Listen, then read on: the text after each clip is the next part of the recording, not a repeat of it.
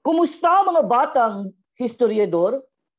Kilala ba ninyo ang may taguri o nickname na Balites sa KKK?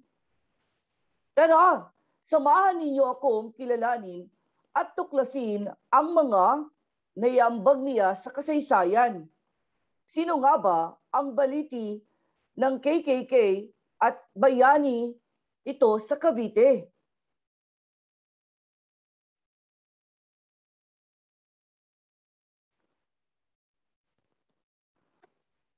Kilala mo ba siya?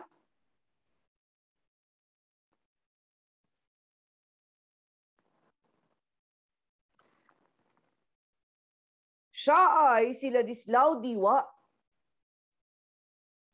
na ipinanganak noong Hunyo 27, 1863 sa San Roque, Cavite. Pangatlo sa sampung anak ni na Mariano Diwa at Cecilia Nucom.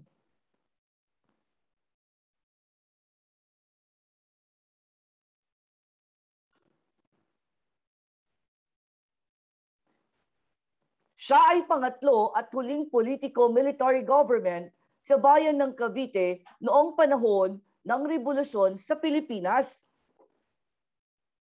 Hulyo 3, 1892 nang itinatag ang samahan ng La Liga Pilipina. At isa sila Dislao Diwa sa mga naging unang miyembro at noong panahon na nadakip si Dr. Jose Rizal ng mga Espanyol at ipinatapon sa dapitan, bumuo ng alternatibong samahan sila Dislao Diwa kapalit ng La Liga Pilipina at ito ang Katipunan. Isinalaysay ni Diwa sa kanyang mga kaibigan na sina Andres Bonifacio na sa ngayon ay mas kilalang ama ng Katipunan at ang kanyang bayaw na si Teodoro Plata na ang pagbuo ng organisasyon na hango sa triumvirato o triumvirate ng Rebolusyong Pranses at triumvirato ng sinaunang Roma na tinawag nilang hasik ng Katipunero. Ang binuo nilang samahan ay itinulad sa Lamisa Negra o Black Caves ng Italia. Na ginamit nila ang kodiko o hudyatan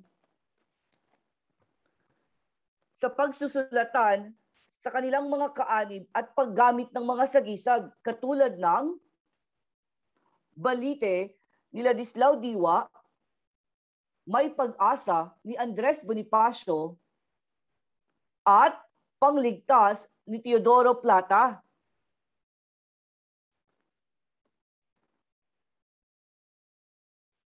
Noong July 17, 1892, ikinatag ang kataas-taasan, kagalang-galangan at katipunan ng mga anak ng bayan o mas kilala sa KKK sa gusali ng 734 Calle Elcano Ascaraga na ngayon ay mas kilalang Claro M. Recto.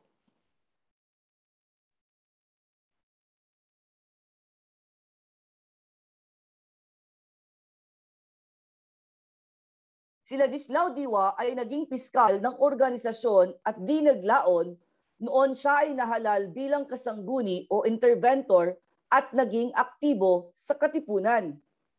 Ayan ah, kilala niyo ni siya.